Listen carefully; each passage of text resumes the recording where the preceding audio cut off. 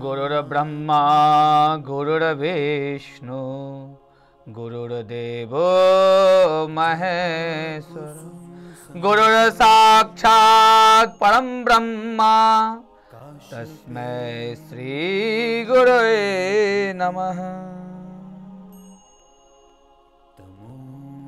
सर्वमङ्गलमाङ्गल्ये शिवे सर्वार्धसाधिके शरण्ये त्र्यंबके गौरी नारायणी नमोस्तुते नमस्कार, मैं सूरज मिश्रा। आप लोगों का एस्ट्रो गुरु एस्ट्रो तक पे आपका स्वागत करता हूँ।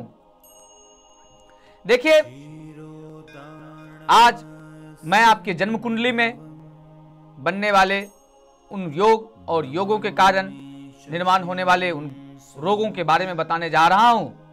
जिन रोग के कारण आप के पेट में मीठा मीठा दर्द आता है और फिर आपको शल्य चिकित्सा कराना होता है।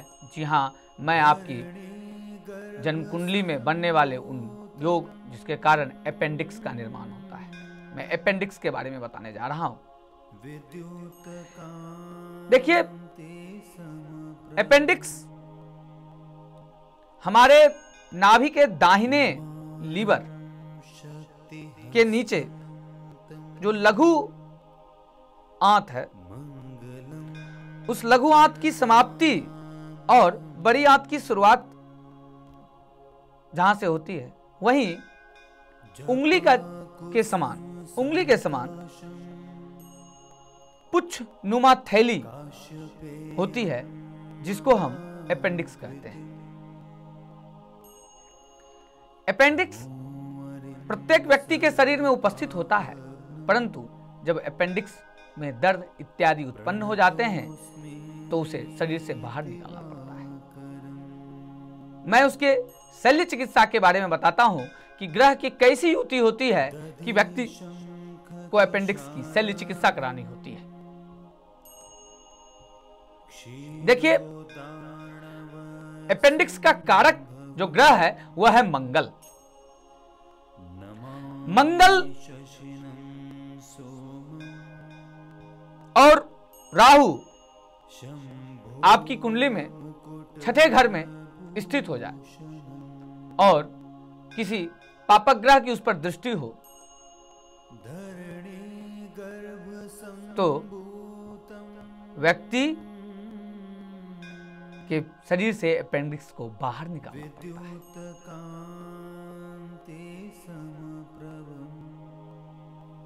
मंगल, कन्या तथा वृश्चिक राशि में स्थित हो और शनि, राहु की उस पर दृष्टि हो तो अपेंडिक्स का ऑपरेशन हो जाता है।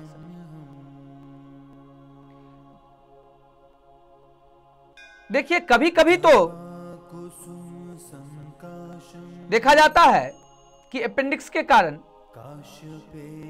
व्यक्ति की मृत्यु भी हो जाती है परंतु उसका संयोग तब बनता है जब आपकी जन्म कुंडली में मंगल और राहु सप्तम भाव में स्थित हो। सप्तम भाव में वह स्थित होकर कन्या राशि में सप्तम भाव में कन्या राशि में यदि स्थित हो तो व्यक्ति की अपेंडिक्स शरीर में फट जाता है और वह विष के रूप में पूरे शरीर में विराजमान हो जाता है, जिससे व्यक्ति मृत्यु तक भी पहुँच जाता है।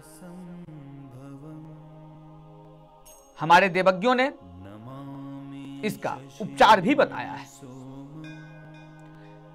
सबसे पहले यदि आपको आपके अपेंडिक्स में दर्द आ रहे हो या समस्याएँ हो रहे हो तो आप सबसे पहले चिकित्सा से जाके सलाह लें। प्राणायाम करें। हरी सब्ज़ी खाएँ। हरी साग सब्ज़ी का प्रयोग करें। हरी सब्जियों का सूप यदि आप लेते हैं, वो भी आपके लिए बहुत फ़ायदेमंद होगा। फल। फल का भरपेट सेवन करें। जितना फल खाइएगा, उतना आपके लिए उत्तम। ऑयल युक्त भोजन ना करें।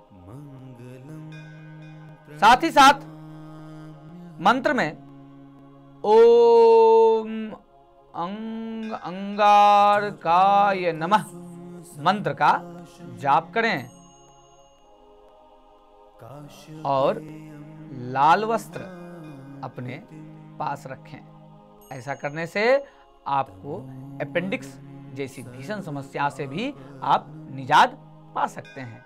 आप लोगों को साधुवाद, नमस्कार, नमः, पार्वती। but they